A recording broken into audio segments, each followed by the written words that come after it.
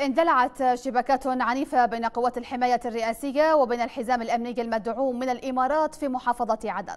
وأفاد شهود عيان في المحافظة أن الشبكات المسلحة اندلعت في محيط ملعب الثاني والعشرين من مايو في مديرية الشيخ عثمان.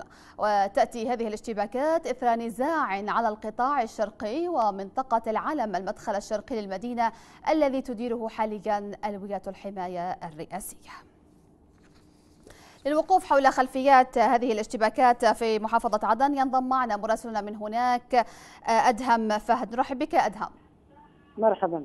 نعم. إذا بداية لو تضعنا يعني في تفاصيل هذه الاشتباكات التي دارت في حي العريش في عدن. طبعا اندلعت هذه الاشتباكات في ساعات الظهر الأولى تحديدا في الساعة الحادية عشر من ظهر اليوم.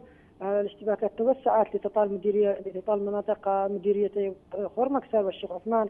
مدير منطقة العريش والمدارة تحديدا تركزت فيها الاشتباكات.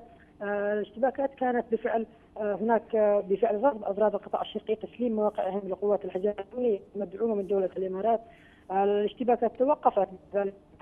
اليوم اندلع مجددا في في في الثانية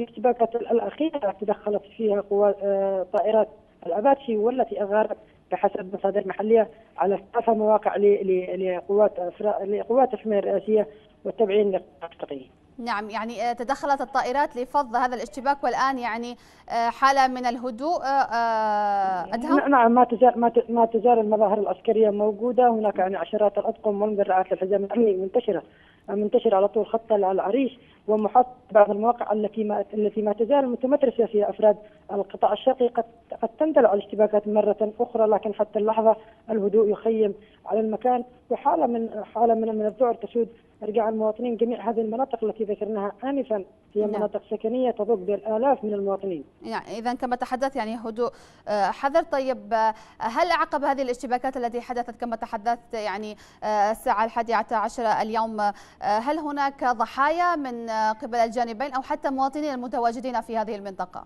حتى الآن لا توجد حتى الآن لا توجد أي لكن مصادر طبيه غير رسمية تحدثت عن وجود ما لا يقل عن ثلاثة إلى أربع جرحى من المواطنين نتيجة الرصاص الراجع الذي الذي اخترق جدران منازلهم آه ذكرنا سابقا أن هذه مناطق سكنية آه ولهذا من يعني من المتوقع ان أن يسقط عدد من المواطنين ضحيه لهذه الاشتباكات. نعم، اذا أنا أشكرك شكرا جزيلا أدهم فهد مراسلنا في عدن، شكرا لانضمامك معنا.